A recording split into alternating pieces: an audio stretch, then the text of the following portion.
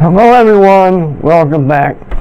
First thing I need to do is apologize for the first two videos I put up.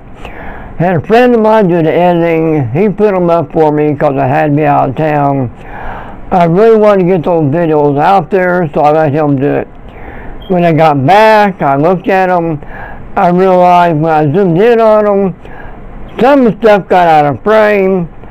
Uh, I don't like it, but they're, they're already out there there's a lot of good information in them anyway, but that being as may, I don't have time to take them down and redo them. I will, again, I'll apologize. From now on, I'm going to do my own video editing. You know the old saying, if you want something done right, do it yourself. So be it. Now, what we're doing today is shapes. In the world of art, there are two different types of shapes. The first ones we're going to deal with today are our geometric shapes. These are the ones we were taught in school. Now, the first one is the square. I'll use a ruler for this so I get everything nice and perfect. The square is a square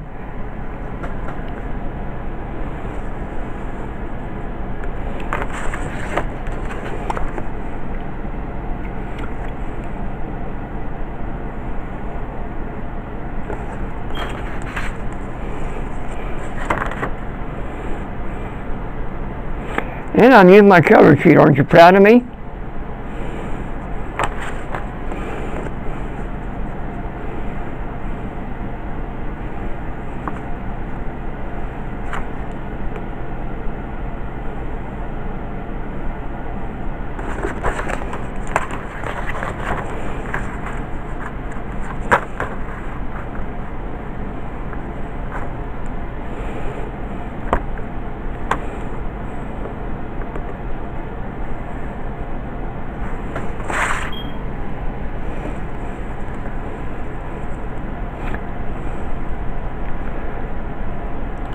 And as we know, that's a square.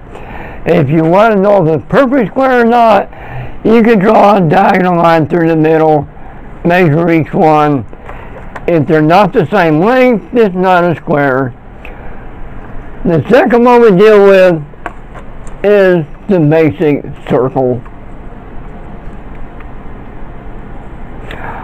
Seldom in that world of art, unless you're doing graphic art design, does everything have to be perfect. Then you have the triangle.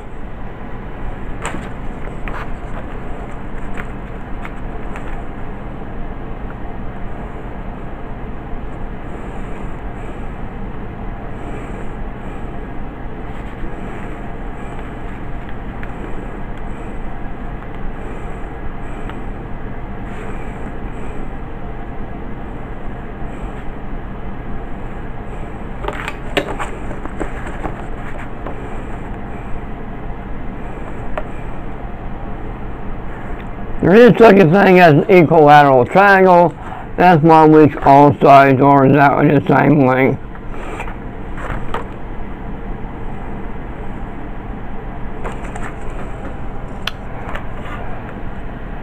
Then you got the trapezoid.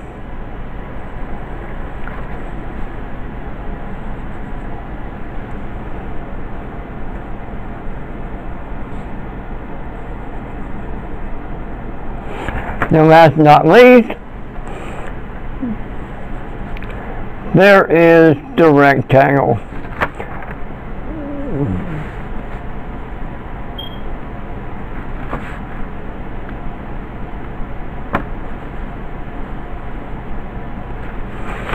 Well, I didn't get them straight, did I?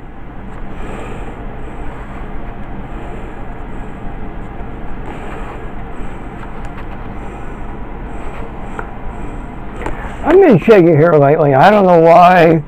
I guess I need to go doctor to see what's going on. I feel okay. Maybe I'm just getting older. And that's your rectangle.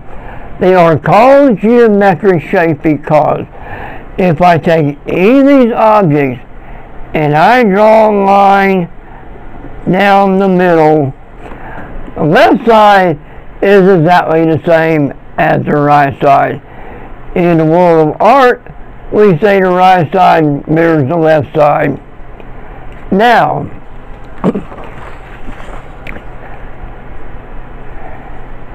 there is such a thing as shapelet. Now, if we take a square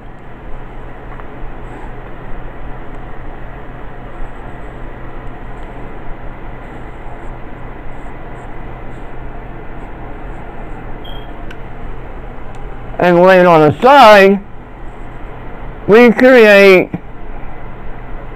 a diamond shape.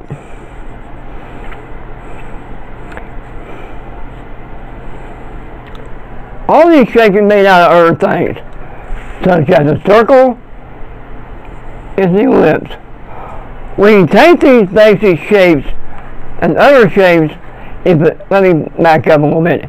If it is not a geometric shape, it is called a generic shape. If I draw a coffee cup,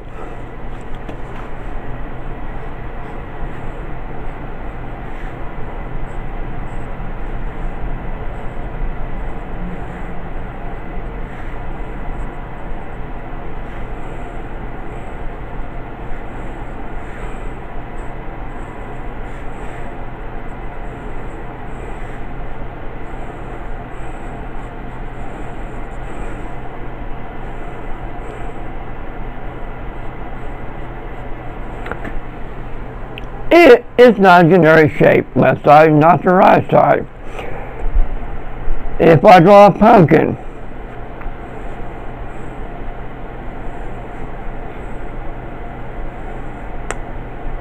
it is also not a geometric shape. Anything that is geometric is generic. If I draw a simply squiggly shape like like that, that is generic shape. Now there's lots of other geometric shapes than what I drew out. There's the polygon, the hexagon. All this stuff like that is dealt primarily in the world of graphic art design. What we drew here was your square, your rectangle, your triangle, your trapezoid, and your rectangle, these are primarily shapes that we deal with. I got several pictures here that we're going to take and we're going to see what the shapes are inside of them. First I have good old Donald Duck. Got these Sharpie today. Uh, one is a fine line, one is a thicker line. I don't know how long they're going to last because when the tip is posed, I think they're going to pretty much dry out quickly.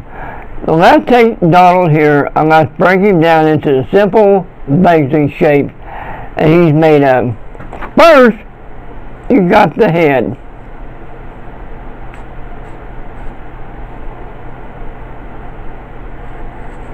It's round. Basically, round. Then you got the beak.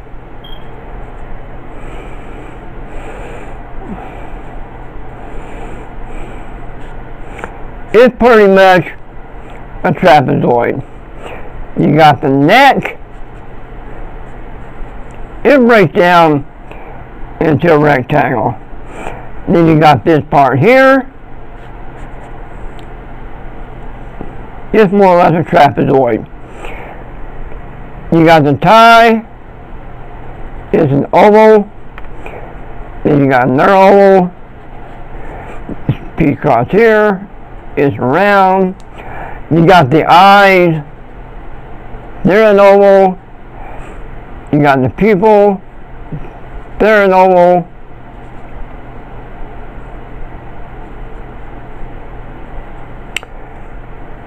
you got the sleeve.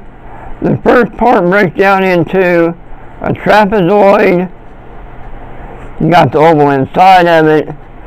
You got this part of hand. That's a trapezoid. On the outside of the finger, it pretty much breaks down into a trapezoid. Then you got this part here, a triangle. Got this part's a triangle. Round. You got a rectangle here. You got a triangle. You got the hat, which is an oval in here. Another oval. You got another oval. His entire deck, he broken down into basic shapes. You got this part here. This is trapezoid. This here is an oval. You got his arm. You break it down into a basic triangle. This part's another trapezoid.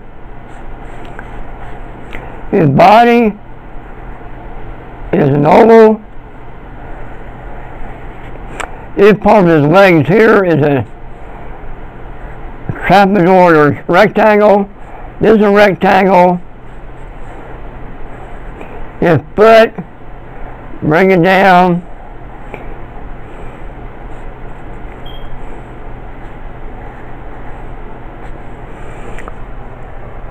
It's more or less a triangle. You got his tail. It breaks down into a triangle. Of course, the button, go around them. They're rectangle, they're an oval. You got this part here is a square. You got the tie. It's another trapezoid. This completes a trapezoid or a rectangle. And you got Donald Duck. And I got another one here. This one's Minnie Mouse. We know Minnie. Least most of it does. Card top the bottom, bottom, you got her little tiara. It's a rectangle.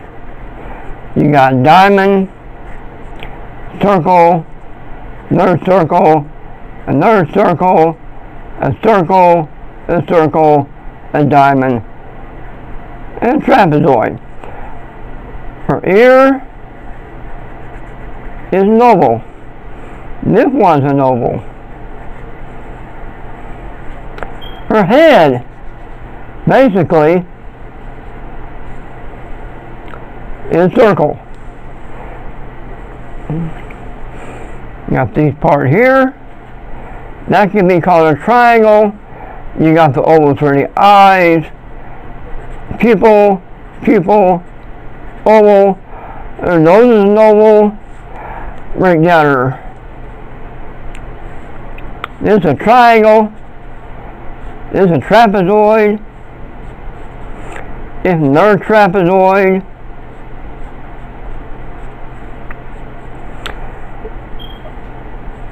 got her shoulder, which is more or less another oval shape.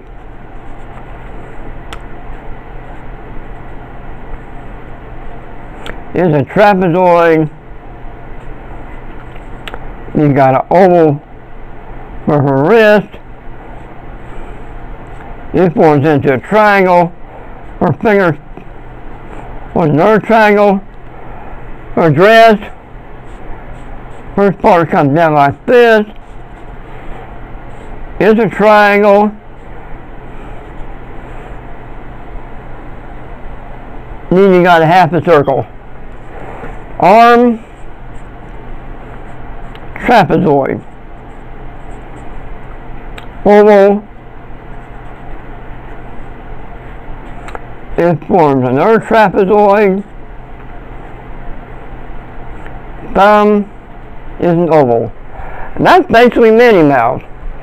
Now here's one more that's going to be a lot of fun here.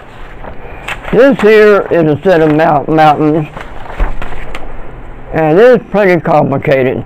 You got all kinds of shapes, but week. let's see what you do about breaking down. First off, we got the mountain in the front. Well, it's a triangle. Got the peak of this mountain is a triangle. Got another one, it's another triangle. Then the here is more triangle shape. More peak here. You got another one. Another mountain here. All these are basically triangle shape. This part here, you call that basically a triangle, a trapezoid rather. The Christmas tree in front, that's a triangle. You got the little house in front of it. If you go around the roof line, like so, you got a rectangle. This part of the roof is not a rectangle. This part of the roof is not a rectangle. Then you got the side here, that's a rectangle. You got another rectangle here, a square here, you got a little square looking thing here, got another piece here, it's another square. This part here forms a triangle. Then you got a trapezoid. This is of the roof. But break this down simply. Is a trapezoid. You got a rectangle, another rectangle, another rectangle, little squares for the windows. Now go back up to the mountain and we'll break it down a little bit more. And we're going to call it good. There's tons of shapes inside here, but you get the general idea. This forms no rectangle. You got no rectangle up. You got this forms a rectangle here. This forms more of a trapezoid kind of shape. This here's another shape.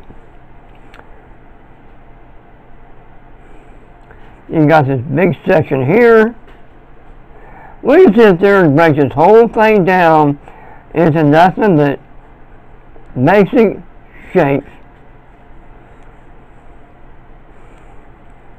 You got this round here.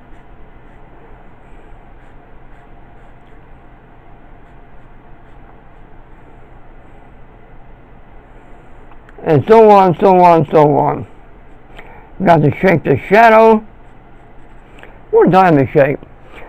And that's it for now. That's your shapes. We got one more here and we'll break down it's a little picture of a ballerina. We'll break her shape, we'll call her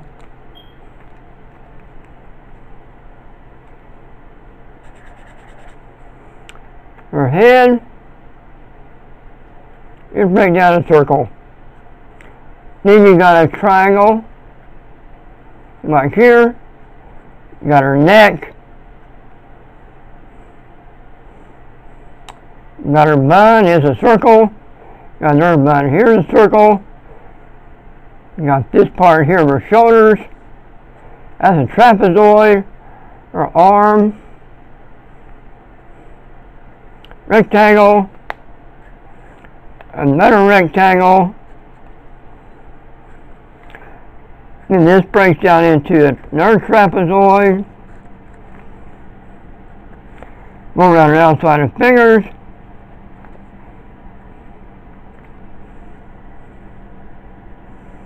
That forms a triangle. That's a square. That's another triangle. Arm the same way. You got the shoulder, which is an oval. Got this part of the shoulder. It comes down. It's a trapezoid. This is a rectangle. This is a triangle.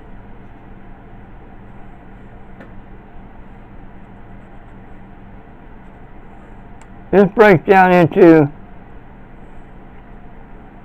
broad shape like that.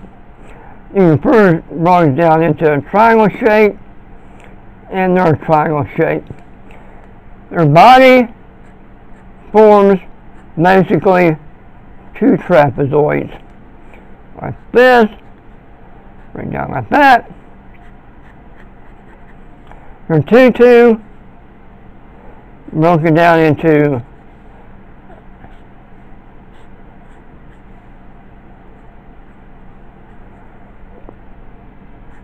a simple trapezoid. This part here, trapezoid. This part here, another trapezoid. This breaks down into more triangle shape.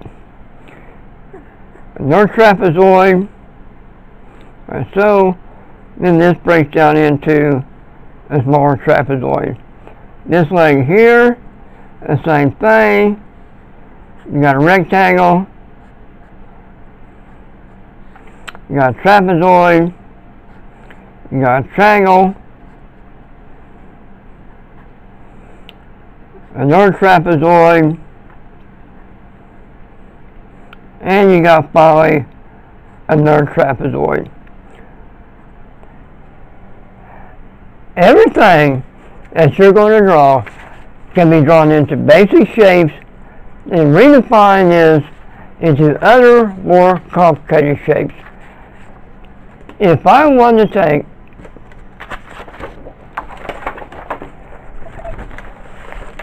a rectangle, like so,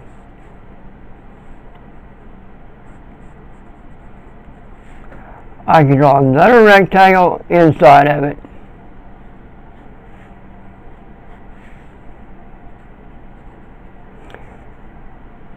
Like so.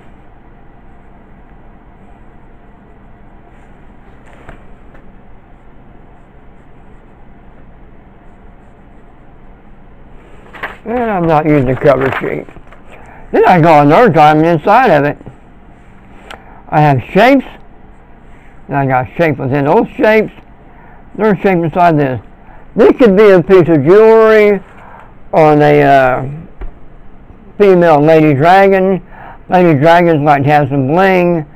Uh, it could be a picture. It's whatever you want.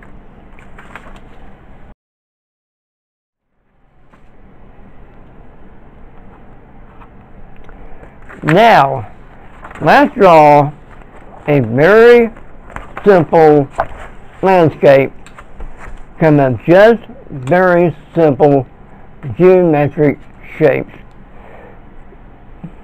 we'll draw a triangle.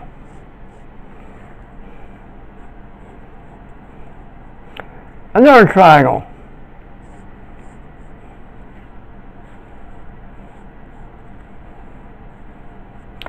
Another triangle, like so.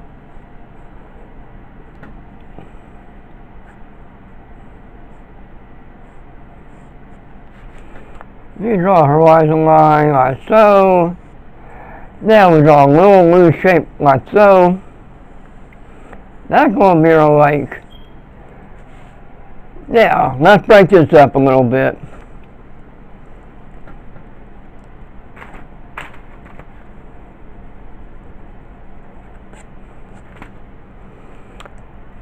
We'll draw a little dotted line down through here. Another dotted line down through here and one through here.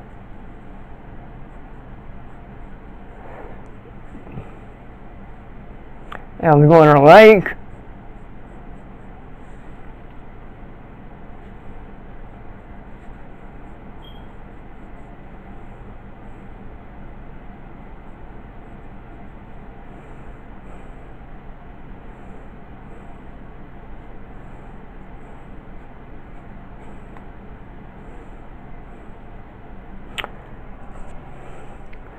And I'm to leave it at that.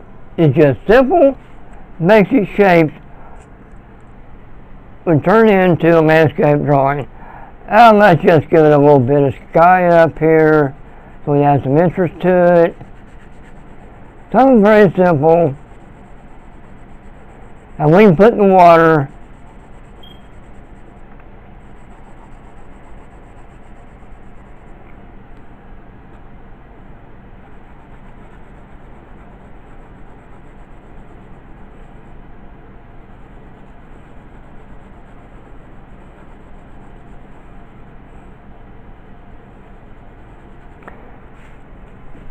we might take this uh, horizon line and kind of break it up a little bit like so grass whatever you want to call it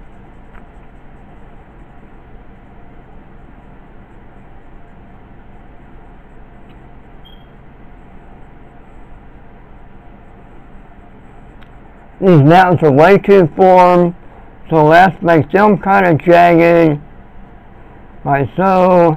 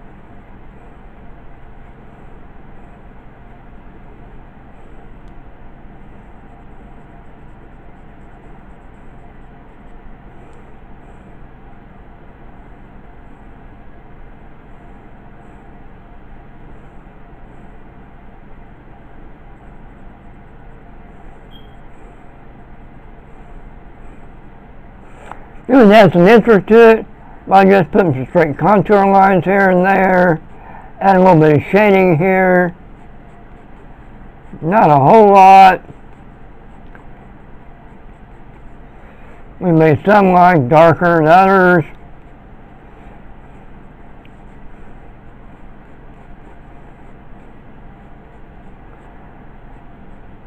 I'll use cross contour lines for this one.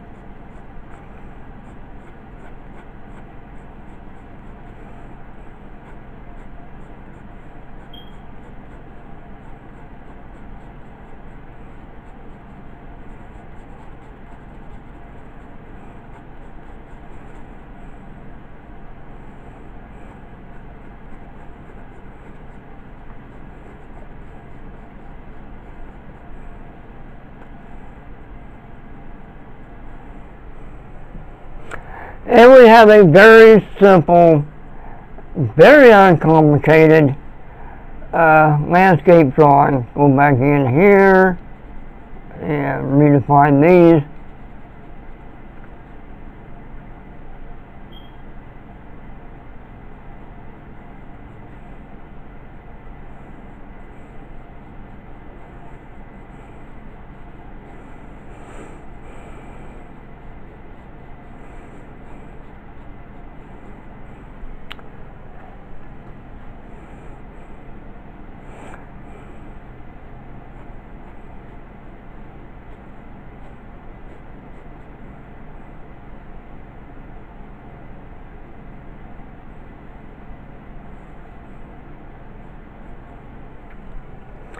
Wrong with that.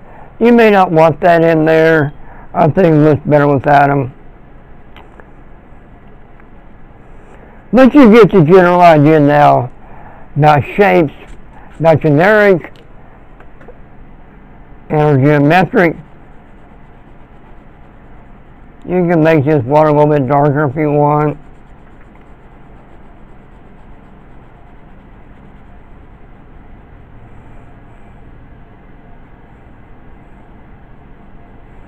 Anything on the mountain has to be in the water. It doesn't look right. And that concludes this. Thank you, and I want you to practice what we did today. And practice drawing some uh, geometric shapes.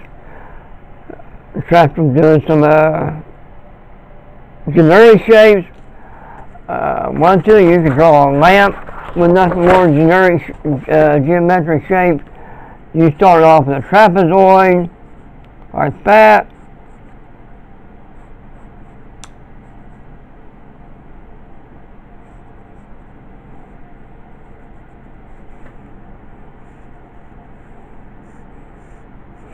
Then you can draw your and ellipse, like so.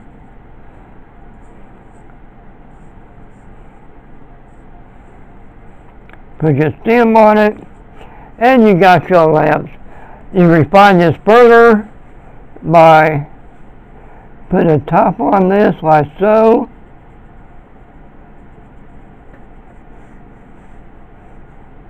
Make this more curved. Make this more curved.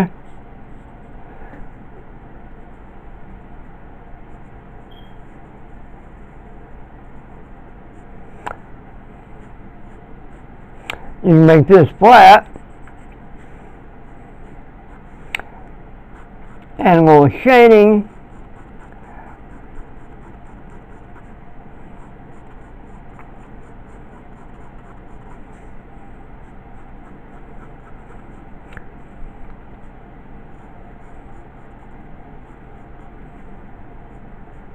and contour lines you want.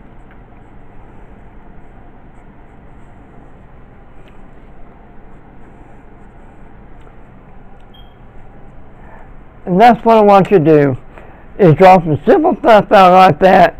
You get some pictures out, go online, you get pictures of Donald Duck, you get uh, dancers, you get mountains, you get all kinds of pictures out there. Get you a pen, if you got Photoshop or you got Corel Draw, you can do all this with your brush and turn off your different layers. Let me see what it's made of. All you do is just draw your generic, your geometric shapes, turn them into uh, generic shapes. Then you add different, then you just start adding your different layers to it, gradually defining these until the shape that you want to get. That's it for this, it today. So long until next time.